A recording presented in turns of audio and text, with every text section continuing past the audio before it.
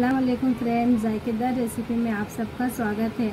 आज हम बनाने वाले हैं प्रोटीन से भरा पाउडर इस प्रोटीन पाउडर के बहुत ही फ़ायदे हैं। ये प्रोटीन पाउडर दूध में डालकर पीने से बहुत ताकत मिलती है, बहुत फ़ायदेमंद होते हैं और बच्चों के दिमाग के लिए बहुत अच्छा है। बाज़ार से लाने के बजाय आप घर पर ही प्रोटीन पाउडर को बना सकते हैं। आइए देखते हैं किस तरीके से बनाया जाता है। प्रोटीन पाउडर बनाने के लिए मैंने छः सूखे खजूर ली हूँ और उसकी बीज निकाल कर उसके टुकड़े कर दी हूँ। और थोड़े से मखाना ली हूँ, थोड़े से बादाम, थोड़ा काजू, थोड़ा पिस्ता, एक चम्मच खसखस सबसे पहले हम कढ़ाई में आधा चम्मच घी डालेंगे। अभी हम इसमें मखाना डालेंगे। मखाने को अब हम हल्का सा भून लेंगे घी में। भूनना हमें इसके लिए ज़रूरी है क्योंकि ये पीसता, पीसे नहीं जाता है। भूनने से पीसे जाएगा।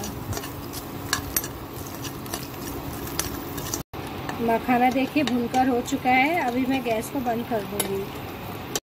हम इन सारी चीज़ों को मिक्सर के जार में डाल के पीस लेंगे।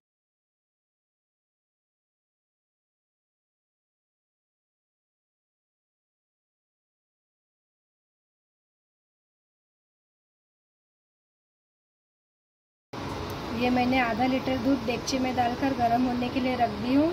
इसमें डालूँगी एक चम्मच शक्कर, एक चुटकी हल्दी पाउडर।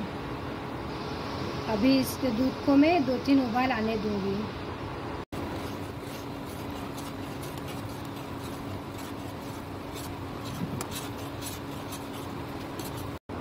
दूध में दो तीन उबाल आने के बाद में मैं इसमें डालूँगी प्रोटीन पाउडर।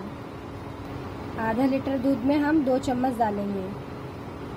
अब हम इसे और दो तीन उबाल आने तक के पकाएँगे।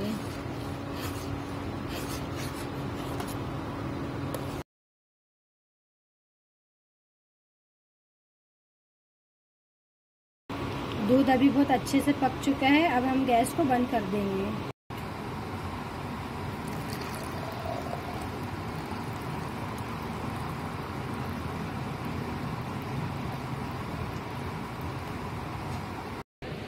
माशाल्लाह प्रोटीन पाउडर बनकर तैयार हो चुका है। वीडियो पसंद आए तो शेयर कीजिए लाइक कीजिए सब्सक्राइब कीजिए।